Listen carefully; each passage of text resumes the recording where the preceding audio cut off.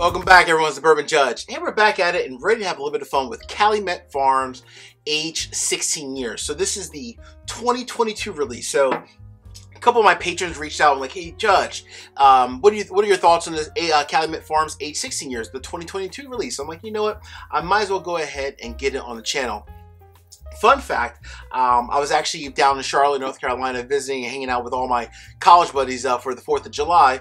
Brought some good bourbon, as you saw in that last episode. and while I was down in Charlotte, um, not so much in North Carolina, but you know me, I'm always going to dip out and do a little bourbon hunting, even when I'm on vacation. So in South Carolina, I saw Calumet Farms 16, 15, and 14 all over South Carolina. And then on the way back, um, Again, even while I'm driving home, I have to stop at liquor stores all along the way. So close to like the Maryland, Virginia border, I found a ton of Calumet Farms as well. So it's definitely out there. So, all right, let's go ahead and dive into it. I'm actually going to pour both Calumet Farms 15 and 16. Now, this is 15 here. If you recall from last year, I was a big fan of Calumet Farms, uh, age 15 years. I will say though, prior to that, the aged 8 and the 10 years, I was not a fan but 15, 16, I was able to try even 14 years as well at a buddy of mine's house, and I really enjoyed it. So I think at least as of last year, they've been doing some really good stuff. Um, when you think of Calumet Farms, again, obviously those other age statements, but then also this is coming from Western Spirits. So Western Spirits, for the most part, they're sourcing their whiskey, sourcing and, and aging it from Barton 1792, which you know I'm a big fan of Barton 1792.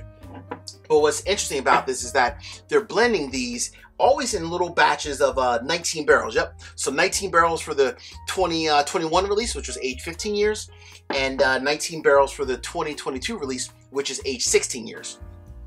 The only other key difference between last year versus this year is the proof. So they stepped it up just a smidge.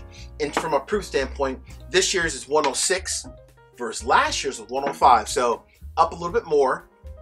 And again, when I think about last year, so what I remember about last year's, it was very much, of course, because it's age 15 years, it was very much oak forward, tons of like strawberries and blackberry notes, and a little bit of like maple syrup. So it was like a sweeter, fruit forward type of a, um, a bourbon with a lot of oak in it. But I enjoyed the hell out of last year. So it'll be interesting to see how different is the 2022 release. An extra year, one extra proof point, we shall see. Only other key difference this year, the MSRP, it went up. So last year, I think I got this for like 125, 130. This is like 140, but with tax was like 150 something.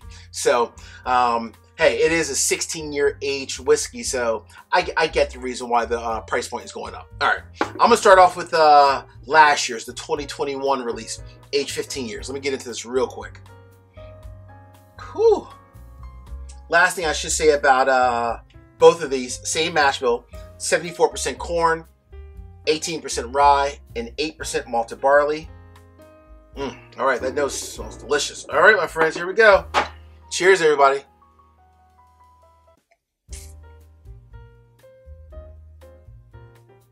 Wow.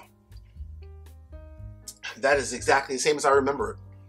Sweet, tons of strawberries, blackberries, a little bit of maple syrup, and that oak is just blended in so well but it's not like it's super oaky but it's not like oak where it's like almost like you know kind of takes control. It's blended in very well with the oak.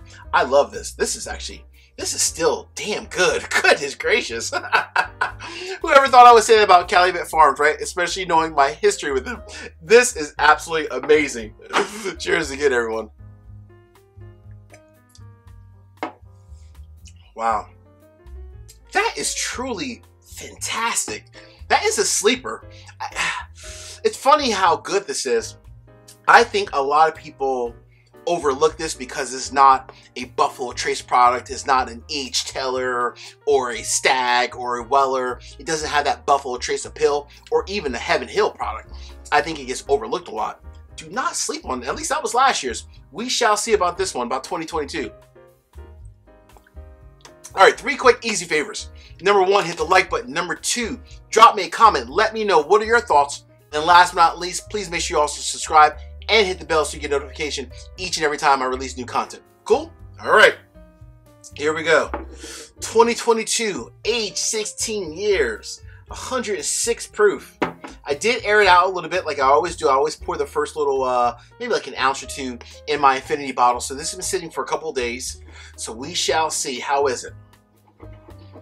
Got to give a quick shout out real quick to my, my, all my friends over here, the Delaware Bourbon Society. Actually, one of my patrons, Gene, uh, is the uh, he actually leads the Delaware Bourbon Society. So check them out on Facebook. You don't have to be a Delaware uh, guy or, or lady to become a member. So whole bunch of fun, cool stuff over at the Delaware Bourbon Society. Gene's doing it right.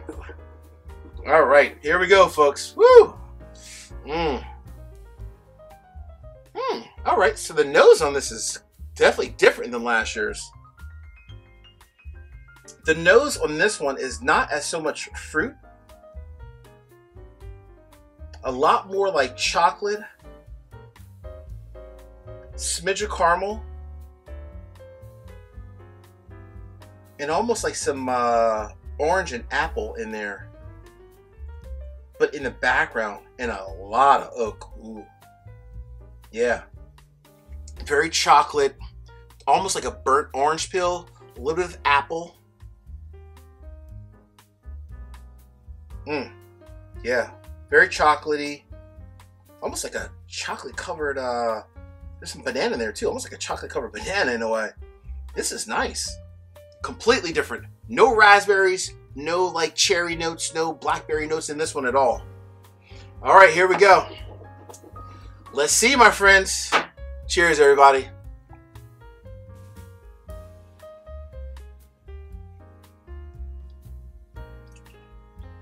Ooh, ooh. wow. Oh, man. Oh, man. Oh, wow. You already know the verdict. I got to ring it in.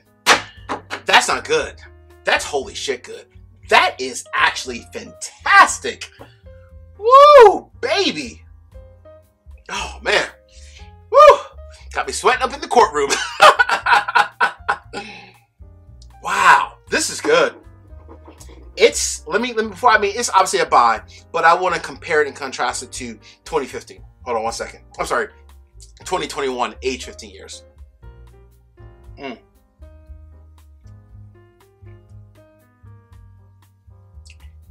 Oh wow,